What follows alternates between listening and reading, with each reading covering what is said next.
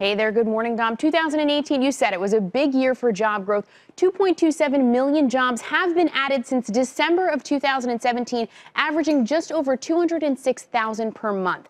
Now, the sectors that saw the highest number of jobs added for the year are right here. They were very similar to last year's top gainers. Professional and business services took the top spot, followed by education and health services, manufacturing, construction, and then leisure and hospitality. Now, economists say next year will likely be much of the same. Services sectors and healthcare will continue to see gains, but manufacturing and construction will see some softness. Factors that'll impact job growth include the Fed and trade war, as tariffs may have more of an impact on job growth in 2019.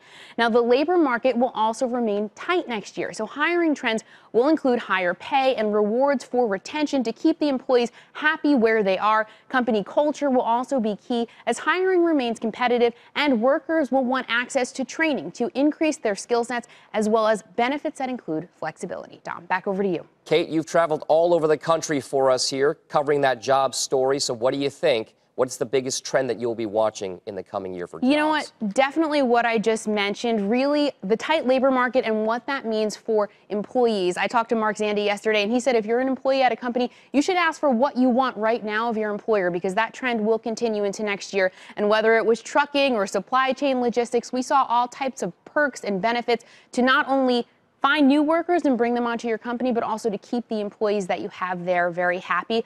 One more thing that companies are doing, uh, hiring people that might not necessarily have the skill set they need and then upskilling them, training them in different things so that they can hang on to them for longer.